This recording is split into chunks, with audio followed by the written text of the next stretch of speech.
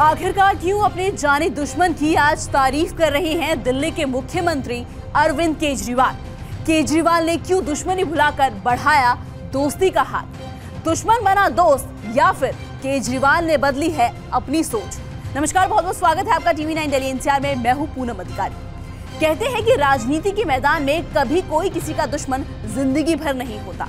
और ये बात दिल्ली के मुख्यमंत्री अरविंद केजरीवाल पर बिल्कुल सटीक बैठती है। क्योंकि केजरीवाल ने आज अपने दुश्मन नंबर वन को दोस्त बना लिया है। और साथ ही केजरीवाल ने ट्विटर पर अपने दुश्मन नंबर वन को दे दिया है। ट्विटर पर एक प्यारा सा मैसेज क्या है ये पूरी खबर? वो बताने से पहले, जैसा कि मैं हमेशा आपसे गुजारिश करती हूँ कि आप हमारे चैनल को सब्सक्राइब ज़रूर करें।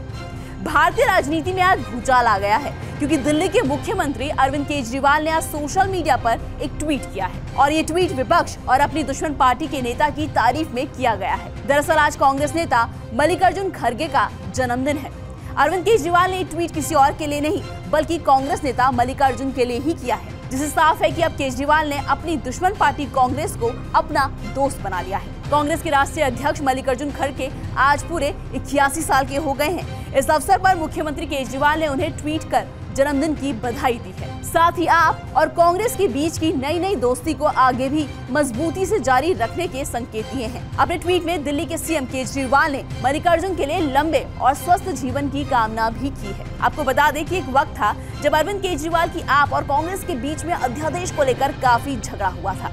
कांग्रेस पार्टी बीजेपी से ज़्यादा आम आदमी पार्टी की दुश्मन बन गई थी।